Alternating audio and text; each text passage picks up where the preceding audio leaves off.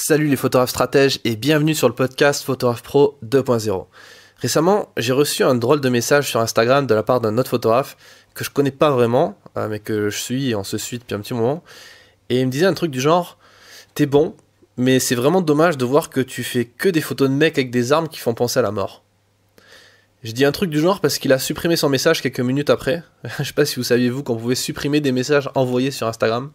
Et quand j'ai demandé pourquoi il était revenu en arrière et en effaçant son message, il m'a finalement avoué que c'était pas à lui euh, de me dire quoi faire. D'où l'idée de cet épisode qui va parler d'étiquette mais aussi de journalisme. Le problème quand on est photographe ou journaliste, je sais pas si c'est vraiment un problème, mais en tout cas j'ai l'impression que c'en est un, euh, et qu'on se spécialise à fond dans une thématique, comme pour moi dans la défense, dans l'armée, ben en fait on va être rapidement étiqueté comme partisan ou pas de quelque chose. Il arrive fréquemment que j'entends des, gens dire autour de moi que je suis pro-militaire ou pro-police, sous prétexte que je réalise beaucoup d'images de soldats. Ce qui est dommage, c'est quand les gens en question, bah, ce sont des amis proches, bah, du coup, qu'ils restent moins, qu'ils restent plus vraiment en fait, et c'est dommage. Mais surtout, ce qui est dommage, c'est que parfois ça vient de la part de journalistes qui devraient pourtant comprendre certaines choses. Et ils devraient comprendre déjà un premier scoop qui est que on peut être photographe spécialisé dans les questions de défense et d'armée sans forcément être photographe militaire.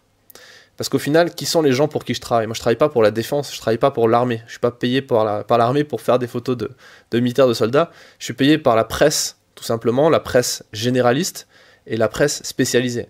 Et dans la presse généraliste, il y a des magazines comme Paris Match, par exemple, qui ont publié récemment mon article Défense, mon reportage sur la défense, sur l'armée qui est en opération contre l'orpaillage illégal en Guyane. Euh, ou encore VSD, qui est un magazine généraliste qui passe des sujets sur tout et n'importe quoi, euh, et qui a publié plusieurs de mes reportages sur les thématiques de défense, notamment sur Barkhane, l'opération extérieure au Mali, mais aussi sur la situation en Estonie avec la mission Lynx, qui est une mission française, enfin une mission otanienne dans, le, dans laquelle la France est, impliquée militairement. Euh, ou encore des journaux qui n'ont rien à voir avec la mort, la destruction, comme La Croix, ou La Vie, ou Le Pèlerin, qui sont des journaux euh, plutôt euh, euh, orientés ben, religion, catholicisme, et notamment le pèlerin qui m'a même envoyé en commande sur une opération militaire au Mali et au Niger. Alors pourquoi, pourquoi je fais ça? Parce que j'ai envie de vous dire que je vais vous confier quelque chose, c'est que je suis pas un grand fan des armes. Je suis pas un grand fan d'armes à feu.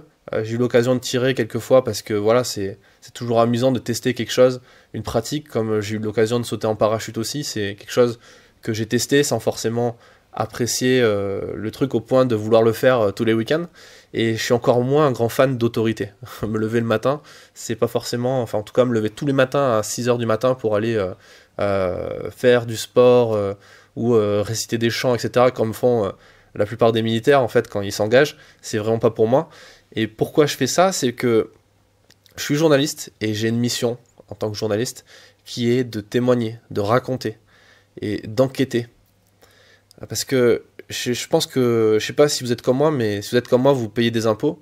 Et euh, l'armée, c'est quand même l'argent de nos impôts. Et c'est quand même intéressant de savoir euh, que tous ces milliards, enfin comment tous ces milliards sont utilisés euh, dans le cadre justement des activités militaires.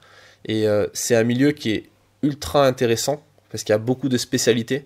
Euh, moi, j'ai beaucoup travaillé sur les parachutistes, euh, mais aussi sur les chasseurs alpins, euh, qui sont une discipline donc, de, de, soldats montagnards. Et finalement, ce sont des gens qui sont presque plus, passionnés par, par la montagne, par faire du ski, de l'escalade, de la marche, plutôt que, que ben, l'image qu'on a du militaire bête et méchante, qui est d'aller tuer des gens et, et, et, et, brûler, des, brûler des villages. Quoi. Et c'est en fait, voilà, on n'est pas dans Full Metal Jacket, c'est un peu plus compliqué que ça, la, la, la thématique de, l'armée. Et au-delà de ça, il se trouve qu'il y a une vraie question de société. Euh, en ce moment, je suis en train de faire un sujet au long cours sur, qui, me prend plusieurs mois sur la question du recrutement, où je vais dans les coulisses du recrutement de l'armée de terre, où je vais rencontrer des gens qui s'engagent. Donc c'est des jeunes qui parfois ont juste 18 ans, juste la majorité, et qui font le choix de partir, de quitter le, cocon familial pour prendre FAMAS, s'entraîner avec un, armement vivre H24 avec, euh, avec une trentaine d'autres personnes qui ne connaissaient pas avant.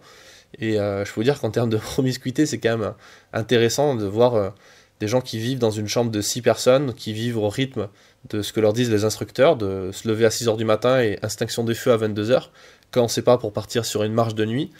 Donc c'est quand même intéressant de savoir pourquoi ces gens font ça, pourquoi ils s'engagent.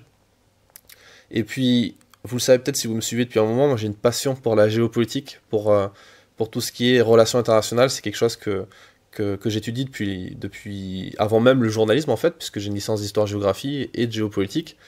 Et euh, avant de vouloir être journaliste, je voulais travailler là-dedans. Et en fait, étant un passionné d'histoire, je me suis beaucoup documenté sur euh, notamment la guerre froide.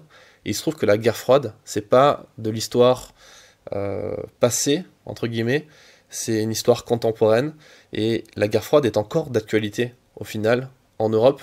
Elle se déroule, elle a changé de lieu, c'est plus la RDA, la RFA, c'est plus l'Allemagne de l'Est, l'Allemagne de l'Ouest, c'est maintenant les pays baltes, c'est la frontière avec la Russie.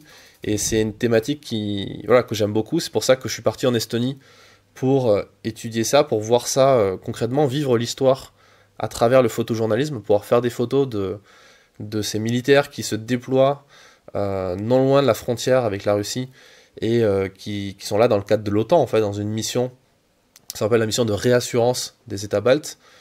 Et donc c'est quand même super intéressant de voir ces manœuvres de l'OTAN. J'ai eu l'occasion aussi de partir aux États-Unis pour, euh, pour voir une énorme manœuvre de, de l'OTAN et notamment de l'armée américaine, également en Allemagne.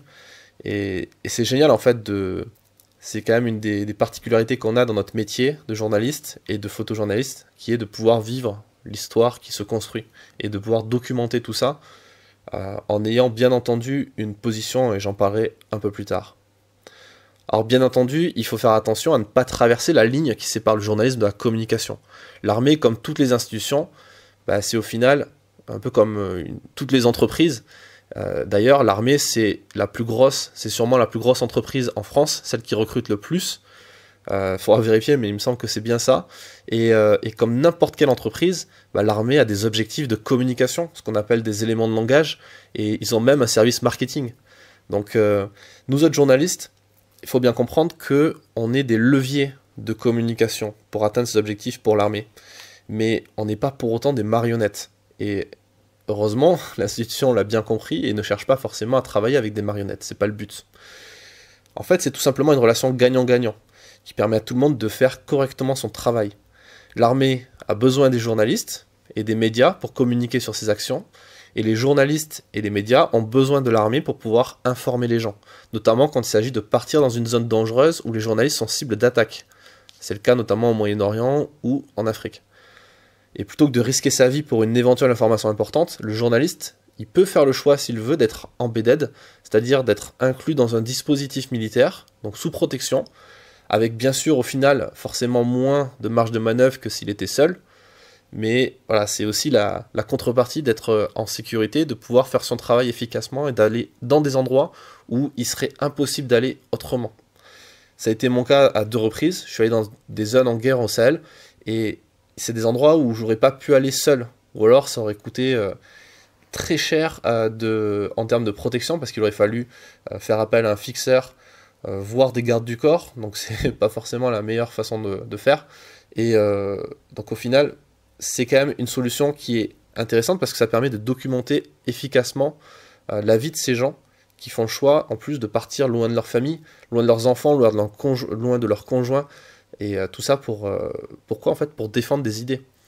Et l'idée ici, c'est pas d'ouvrir le débat sur la question de la légitimité ou pas pour la France d'intervenir militairement dans d'autres pays. bien entendu qu'il y a des intérêts politiques, des intérêts économiques qui poussent l'institution à déployer des moyens partout dans le monde, et vous savez, enfin, je ne sais pas si vous vous rendez compte, mais la plupart des militaires avec qui je parle de ça, ils en ont conscience. Ils savent très bien que euh, au-dessus, leurs chefs ont des objectifs euh, et, en fait, ils le font quand même. C'est-à-dire qu'ils vont risquer leur vie de famille et parfois leur vie tout court, malgré ça, malgré cette connaissance de, de l'état actuel du monde, en fait, tout simplement. Et s'ils le font, c'est bien parce qu'il y a des raisons. Et c'est notre mission à nous, journalistes et photojournalistes, de raconter ça au reste du monde, d'essayer de comprendre ces raisons et de le montrer. Et faire cela, c'est pas de la communication institutionnelle. Sinon, je pense qu'un journal comme Libération, qui est plutôt critique de l'armée, bah, ils n'auraient pas publié mon travail. Pourtant, ça a été le cas. Revenons enfin la question des étiquettes. Ce que je vous disais au, au début avec le petit message que j'ai reçu de la part de ce confrère. Il est évident que quoi que vous fassiez, et peu importe la spécialité dans laquelle vous êtes, si vous êtes euh, dans la défense comme moi ou ailleurs, sur une autre thématique, quoi qu'il se passe, bah, en fait, vous serez critiqué. On peut pas plaire à tout le monde. Et tant mieux, en fait. Parce que à vouloir être d'accord avec tout le monde, on est d'accord avec personne. Et on n'apporte pas de valeur euh, au débat de fond. Le discours, il est tout lisse, ça sert à rien, en fait, tout simplement.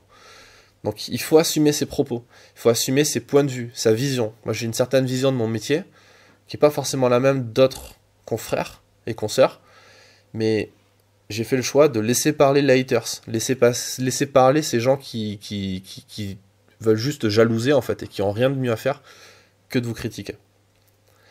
Voilà pour cet épisode euh, qui, qui, est assez court en fait où je voulais partager ce, cette réflexion avec vous parce que c'est quelque chose que j'entends régulièrement et j'ai enfin un épisode envoyé à ces personnes plutôt que de me fatiguer à écrire un mail pour expliquer que bah oui qu'on est journaliste euh, enfin juste expliquer qu'on ne fait pas forcément un travail de communication en allant euh, en allant euh, chercher une information que beaucoup de gens ne vont même pas aller chercher sous prétexte que bah, ils aiment pas l'armée ils aiment pas les uniformes ils aiment pas les flingues et ça va au-delà de ça le monde il est assez complexe quand même dans et, tout n'est pas noir, tout n'est pas blanc. Il y a beaucoup de choses à, à comprendre et euh, le simple fait d'aller sur place, de parler aux gens, de rencontrer les gens, ça va permettre de comprendre une situation. Et enfin, j'aimerais terminer avec un, un truc que je, dis régulièrement en fait aux, élèves en école de journalisme quand j'interviens dans des, dans des cours ou à mes élèves dans les formations. Je leur explique que le, le truc le plus important quand on veut faire ce métier, mais au final, quand on veut être créatif, quand on veut être euh, photographe, quand, sans forcément faire de la presse, il y a une qualité qui est, en fait, qui est juste primordiale si on veut durer dans, cette activité-là, c'est d'être ouvert d'esprit. C'est d'être capable de remettre en question ses croyances, de remettre en question euh, ses pensées sur telle ou telle chose, parce qu'on a tous été éduqués d'une certaine façon, on a tous des clichés, on a tous euh, euh, des, croyances sur certaines choses, mais il faut être capable de faire preuve d'honnêteté intellectuelle. Parce que voilà, si on veut pouvoir documenter la vie des gens, c'est mieux de pas trop avoir d'idées reçues sur ces gens-là. Et on peut avoir des idées reçues, mais il faut être capable de les mettre de côté au moment où vous allez faire vos photos, au moment où vous allez raconter votre histoire. Voilà, si cet épisode vous a plu, si vous êtes d'accord avec cette façon de voir les choses, euh, dites-le moi. Même si vous n'êtes pas d'accord, dites-le moi aussi. Euh, et euh, partagez cet épisode autour de vous. Et si vous voulez aller plus loin, j'ai écrit un livre qui s'appelle le qui stratège, réussir à vivre de la photo grâce au web marketing. Et je vous mets le lien dans la description de cet épisode. À l'intérieur de ce livre, j'ai mis ben, tout ce que je sais de, ce métier de, photographe et pour euh, apporter voilà, cet état d'esprit que j'ai et euh, donner un maximum de conseils, de stratégies, de techniques pour réussir à vivre de votre, de votre passion. Je vous dis à très vite dans le prochain épisode. À bientôt.